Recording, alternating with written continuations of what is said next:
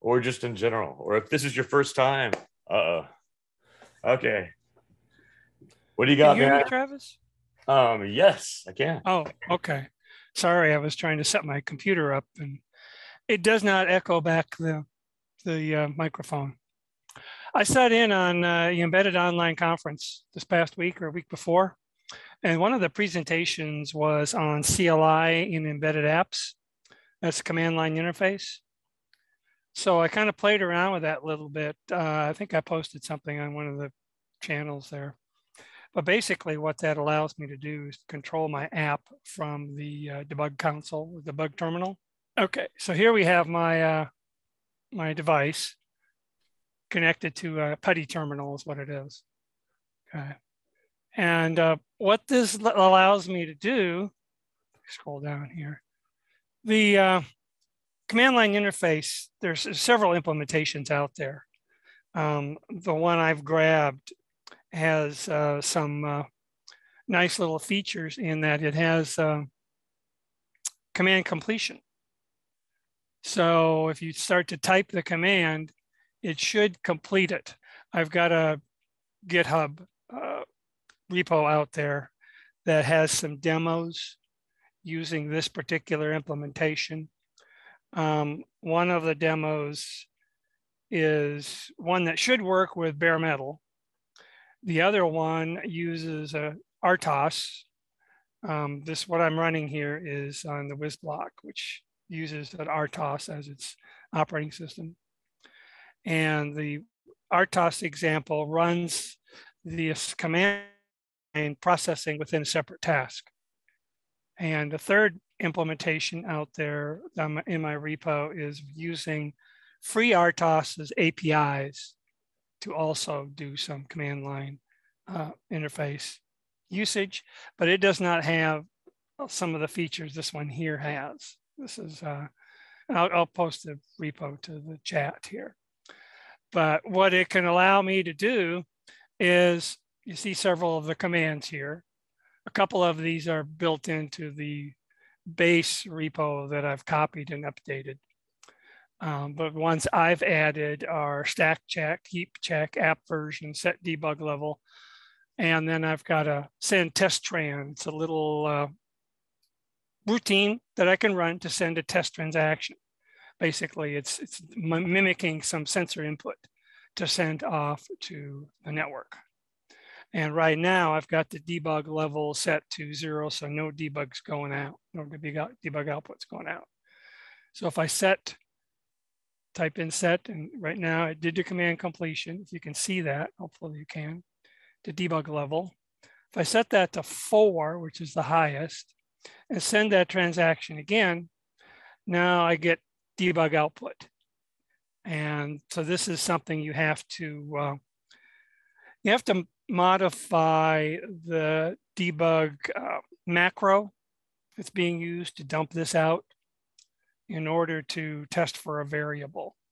So within the command line interface processing, I set a variable and my debug macro checks that variable. So I can sit there and I can send test transaction. If I just hit my up arrow, I can send it again, repeat. What I've done with my version, it's not in the repo, is I've given it a repeat capability. So if I want to send this test transaction again and again and again, I can say repeat is true every four seconds.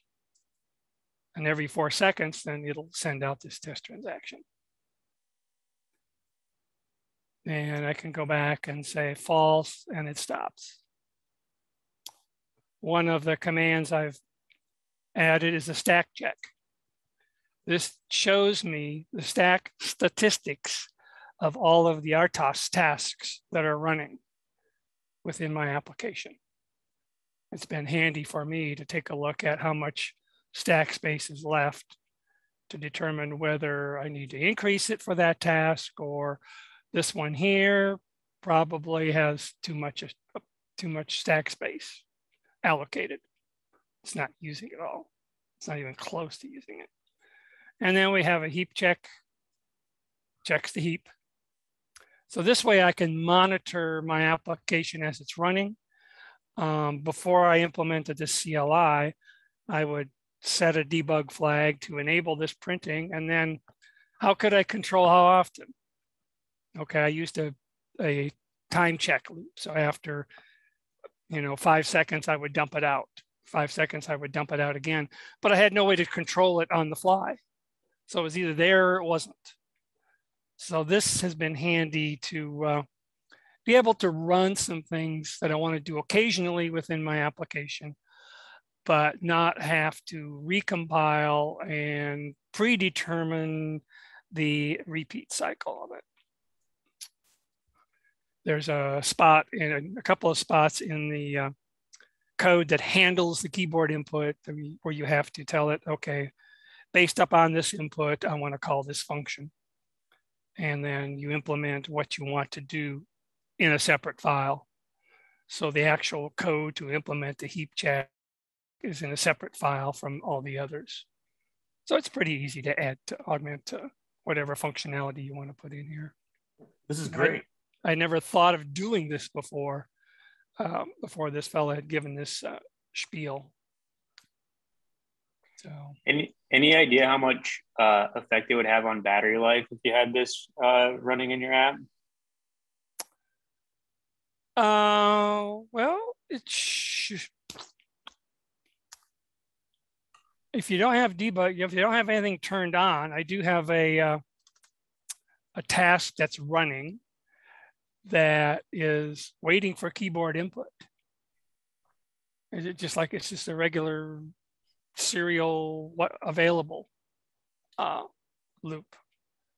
And being an RTOS task, it should nothing's available, it's going to block, it should release to the other tasks. I don't know the answer to that question, in other words. Okay, yeah, no, no problem. Um, but I wouldn't expect it to uh, chew up any more battery time if you're not doing anything with it. Now there's a repeat, there's a repeat that I've added that uh, task handling the uh, interface, the command interface here, that task is constantly checking to see if that repeat flag is set. Um, so that's going to choose some time, but that can be changed to uh, to use a signaling mechanism